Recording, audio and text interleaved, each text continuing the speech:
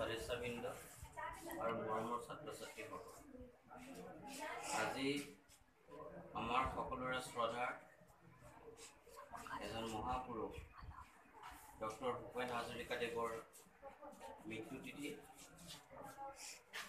পৃথিৱীত কেতিয়াবা এনে কিছুমান লোকৰ আৱিৰ্ভাৱ হয় জন্ম হয় যিয়ে নিজৰ কাৰণে ভাবাতকৈ নিজৰ দেশ নিজৰ জাতি বিশেষকৈ মানুহৰ কাৰণে চিন্তা কৰে। আৰু ডক্টৰ ভূপেন হাজৰিকা দেৱী আছিলে তেনেকুৱা এজন মানুহ। ঊনৈছশ মোৰ যদি নাই নাইনটিন ফিফটি ছিক্সতে তেখেতে পি এইচ ডি লাভ কৰিছিলে। নাইনটিন ফিফটি ছিক্সত মাষ্টাৰ ডিগ্ৰী কৰা মানুহৰ সংখ্যাই কম। কিন্তু তেখেতে পি এইচ ডি ডিগ্ৰী লৈও কোনো ধৰণৰ উচ্চ হাবিয়াস নকৰি কেৱল জনতাৰ গানেই গাইছিলে।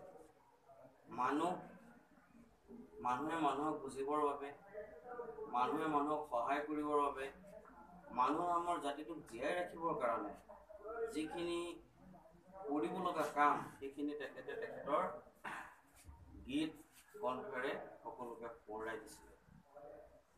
মানুহে মানুহৰ বাবে বা তেখেতৰ সকলোবিলাক গীত আছিলে এক সাম্যবাদী সুৰীয়া। য'ত মানুহৰ মানুহৰ তেজৰ গান য'ত মানুহৰ ঘামৰ গুণ থাকে। যিবিলাক গানত কিছুমান গান আমাৰ শুনিলে খুব ৰোমান্টিক যেন লাগে।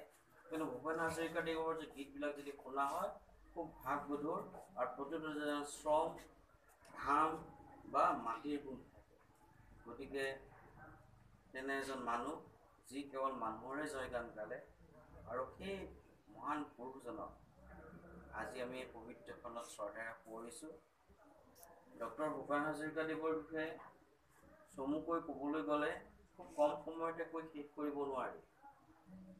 এজন মানুহৰ জীৱন বা ব্যক্তিত্ব যেতিয়া এটা পুথিভঁৰাললৈ ৰূপান্তৰিত হয় এটা লাইব্ৰেৰী কিতাপ এঘণ্টাত পঢ়ি আধা ঘণ্টাত পঢ়ি শেষ কৰিব নোৱাৰি। ঠিক সেইদৰে ডক্টৰ ভূপেন হাজৰিকাদেৱ হওক আমাৰ মহাবিদ্যালয়খন যিজন মহাপুৰুষৰ নামত আছে বিষ্ণুৰাভাদেৱী হওক এনেধৰণৰ মহাপুৰুষসকলৰ বিষয়ে খুব কম সময়তে কৈ শেষ কৰিব নোৱাৰি। কাৰণ যেতিয়া অসাধাৰণ প্ৰতিভাৰ গৰাকী হয় সেইসকলকে মহাপুৰুষ বুলি কোৱা হয় মই ভাবোঁ মই আশা কৰোঁ তেখেতৰ গীতবিলাক আজিৰ নতুন প্ৰজন্মই অনুধাৱন কৰাটো উচিত।